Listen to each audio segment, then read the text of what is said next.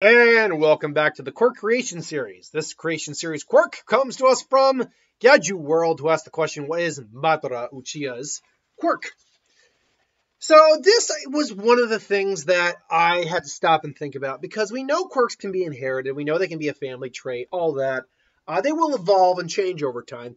So I thought what we could do with the Uchihas as a whole is basically have them all have the same base quirk, but their awakening would be a representation basically of their Mangekyous. I think that kind of works. So Madara's quirk name would be Sharingan, or Pinwheel, I believe it is. Pinwheel Eye, to be precise. Sorry. His villain name, because it would be, he would start out with uh, a, a hero because he did, didn't start out as an evil person, but he would eventually go over to the dark side would be maybe the either the Dark Shinobi Lord or the take out the Dark Shinobi and just say Shinobi King or something like that. Now, its actual effect of this version of the Sharingan would be that uh, it, has, it, basically has all the general abilities. It's able to perceive movement uh, very quickly, able to actually, you know, keep up, copy things, and memorize it to keep it uh, memorized to a certain degree.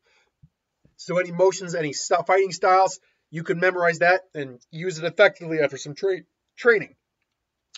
It would also be able to do what Monoma can do and copy quirks. However, with training, the effectiveness of the quirks you copy would increase. Uh, like unlike with Monoma, they would be able to use multiple quirks at once, but unlike, but just like Monoma, it wouldn't they wouldn't have like the best, most competent copy of the quirk. This isn't like all for one stealing a quirk and having this straight quirk.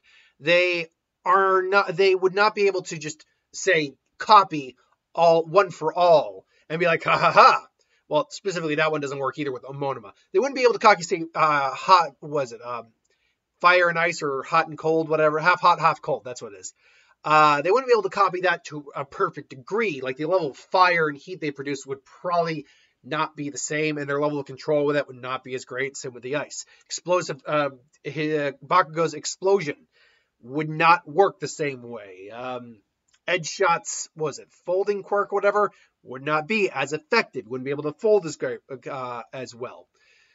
Also, just like Monoma, I think what we would have to do to min to kind of not make this as broken as it already is, is that the quirk does fade away maybe after 24 hours. After 24 hours, you no longer have that quirk. And your usage of the quirk probably starts to deteriorate, deteriorate after some time. Now, Awakening, this would be obviously the Mangekyo Sharingan, or even the Eternal Mangekyo Sharingan, depending on, say, uh, the form, uh, or depending on the user. In fact, you could still make the argument that maybe the surgery to transplant an eye into someone exists in the My Hero, because we've never seen that happen, honestly. Although, frankly, if eye transplants existed in My Hero, I have no reason to doubt why uh, doubt Aizawa getting it uh, because it just integrates with his biology, and therefore he should be theoretically able to use his quirk through that eye.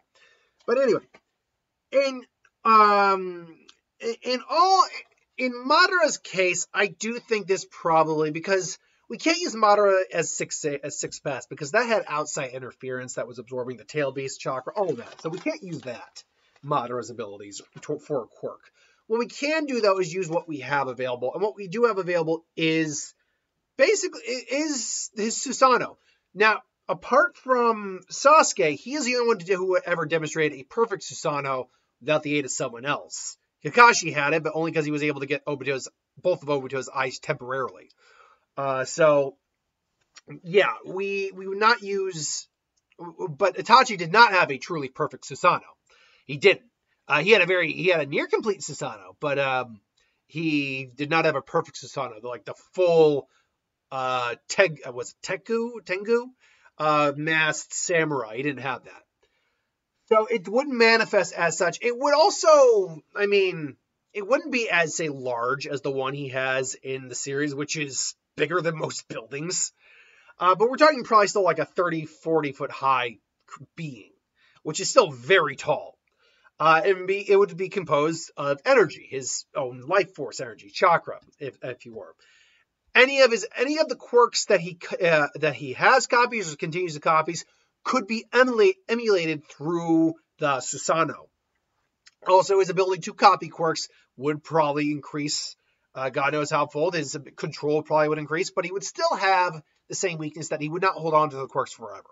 This is probably why, uh, if he ever like him and All for One, if they teamed up, All for One never would attempt to steal his quirk because it just there'd be no point to it. Uh, but the you know even without the copying of the quirks, the Susanoo would still be destructive, still be capable of doing a lot of damage. The weakness once the quirk is awakened, though, is very obvious: the progressive loss of eyesight.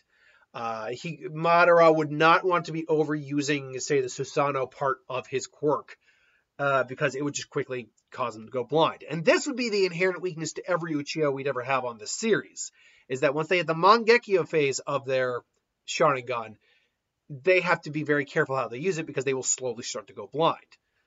Uh, so that is my opinion on what Madara Uchiha's quirk would be. Now, we might see mirrors of other quirks. In fact, I might even make the argument some quirks like Sasuke's, for example, or um, or Itachi's could very well be similar to that. But because they've also demonstrated other abilities outside just the Susanoo when using the Mangekyo, we might be able to do something different with them. We'll see. Until then, thanks for watching. Hope you enjoyed. Like, comment, share, subscribe, and I'll see you folks next time.